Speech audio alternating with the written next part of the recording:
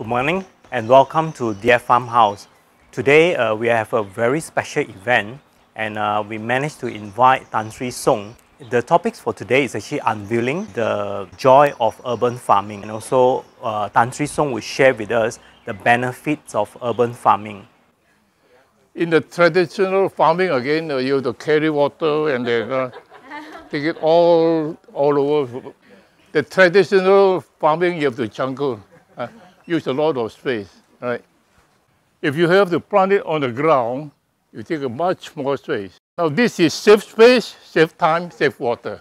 Uh, you can see the benefit. Another benefit is you can see uh, the organic waste.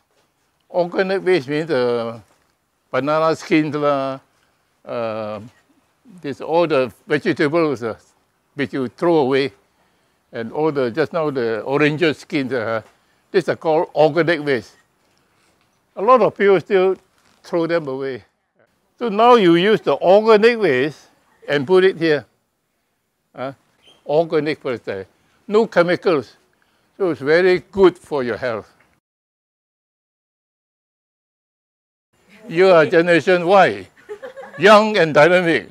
I'm generation A, ancient and antique.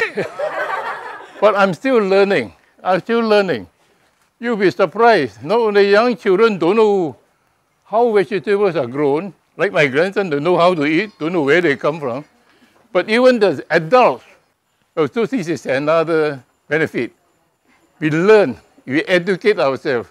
Urban farming improves the interaction among the family people, bridge the generation gap. Hey, you plant this, uh, I plant that. Uh, to promote interaction among the family and also interaction among the neighbors. And in the process, the benefit is uh, we have interaction among the community. Opportunity and interaction that transcends race, transcends religion. Does not matter about age or gender, whether man or woman, that everybody have to eat. And in the process, we promote friendship.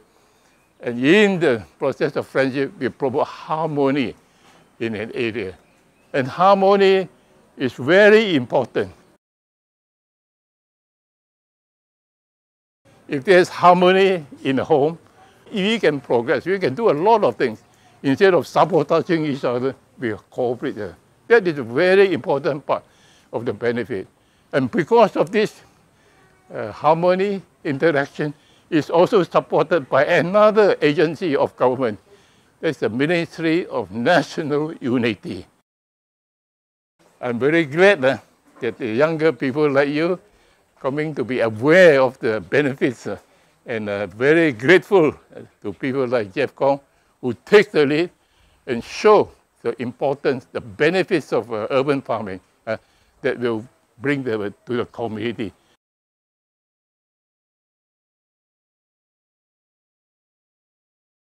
I sincerely hope uh, this, this uh, process of uh, publicity, process of uh, awareness will spread through people like yourself. We putting up urban farming in schools, in old folks' homes.